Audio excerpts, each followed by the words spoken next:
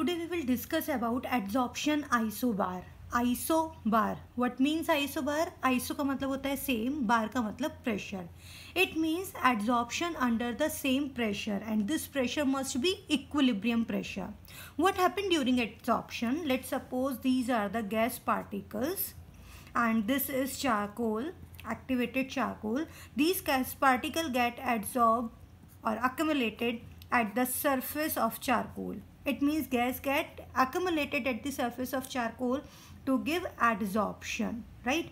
During this process heat is evolved. This process is known as adsorption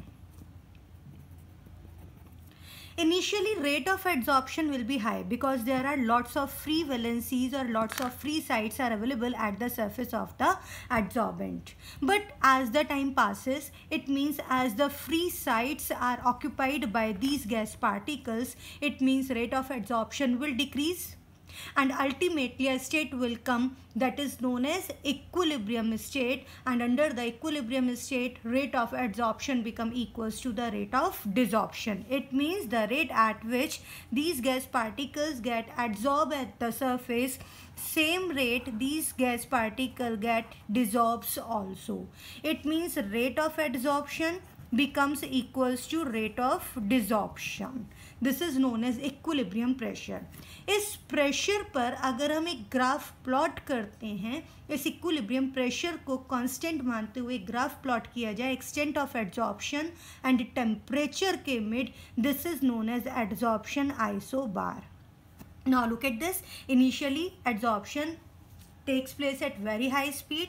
but with time rate of adsorption decreases and at an equilibrium state and at the equilibrium state adsorption becomes equals to the desorption we know it very well right a graph between the extent of adsorption किस किस के mid graph लेना है extent of adsorption and the temperature at what Constant equilibrium pressure is known as adsorption isobar इसे बोला जाता है adsorption isobar now adsorption isobar for physisorption physisorption हम पढ़ चुके हैं on the basis of the forces of attraction adsorption is divided into two types physical adsorption also known as physisorption and chemical adsorption also known as chemisorption तो we will see adsorption isobar for both cases physisorption and chemisorption for physisorption, this graph comes out to be like this. Extent of adsorption and temperature.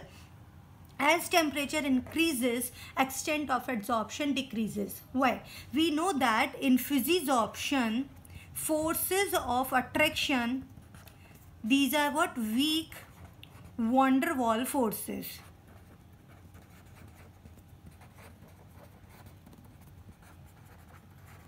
Remember that in case of physisorption, what happens between the adsorbate and adsorbent? Only weak van der Waals forces are present there.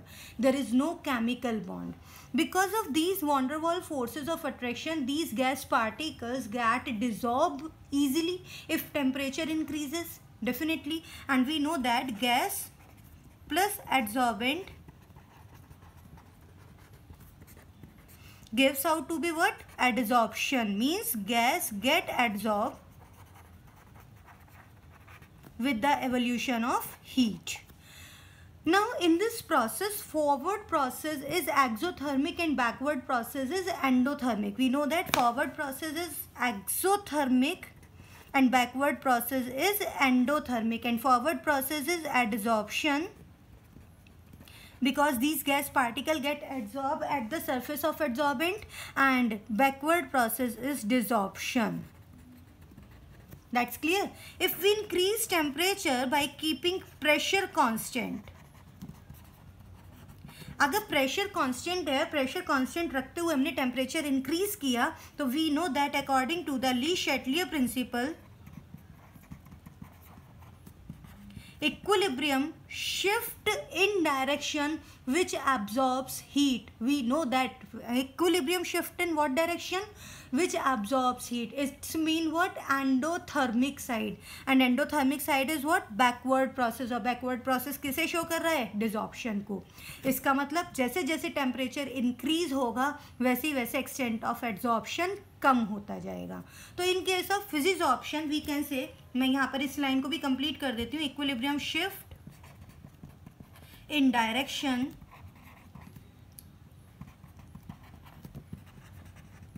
Which absorb heat. It means what endothermic side right तो ये तो था physics option. In case of physics option, if we increase temperature, extent of adsorption continuously decrease. हम इसे इस वे में भी देख सकते हैं, अगर हम टेम्परेचर इंक्रीज करते हैं और इक्विलिब्रियम प्रेशर कांस्टेंट है तो उस केस में इन गैस पार्टिकल्स की काइनेटिक एनर्जी इंक्रीज हो जाएगी and they will escape at the surface of the charcoal because there is only weak van der of force van der Waals forces between these gas particles and these activated charcoal molecules that's clear और अगर हम Le Chatelier principle को भी follow करते हैं तो Le Chatelier principle के according अगर हम टेम्परेचर इंक्रीज करते हैं तो इक्विलिब्रियम उस डायरेक्शन में शिफ्ट होगा, जहाँ पर उस टेम्परेचर को एब्जॉर्ब कर लिया जाए। It's mean endothermic side and endothermic side shows what desorption now come to the next adsorption isobar for chemisorption अगर हम कैमिजॉप्शन के लिए केमिकल एब्जॉर्प्शन के लिए ग्राफ देखते हैं तो it comes out to be extent of absorption and temperature के मिड ग्राफ कुछ इस टाइप से आता है। Why such type of graph we know that in chemisorption chemical bond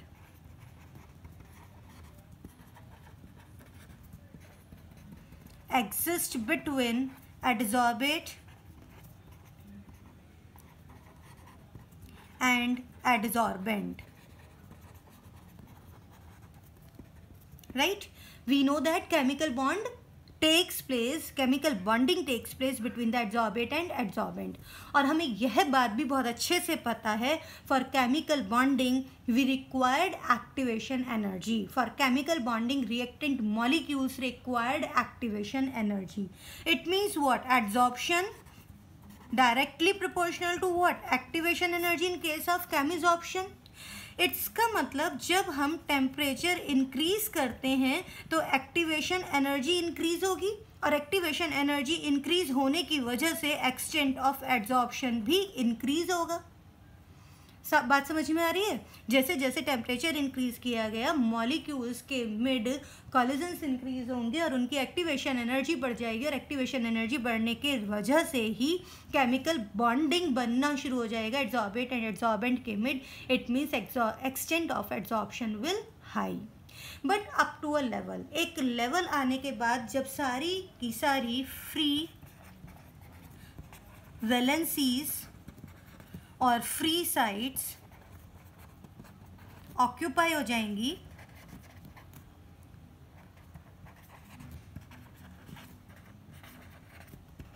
when all the free valencies and free sites are occupied by gas that now what will happen more increase in temperature will break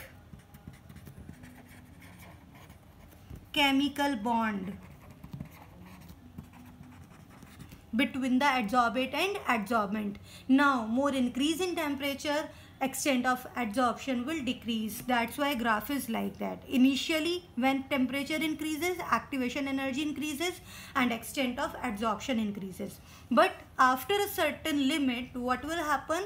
Or temperature increase करने पर जो chemical bond develop हुआ था adsorbate and adsorbent के mid वो break हो जाएगा and now extent of adsorption decrease तो this graph is for chemisorption and this graph for the physisorption So you have to remember that adsorption isobar means what? At constant equilibrium pressure, graph plotted between the extent of adsorption and temperature. This is known as adsorption isobar. And in next video, we will talk about next topic. Till then, goodbye.